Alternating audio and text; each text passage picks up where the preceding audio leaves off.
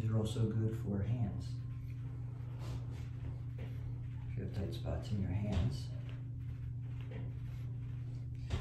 These are good for forearms. The rumble roller goes a little bit deeper though, so this I would call this advanced stuff.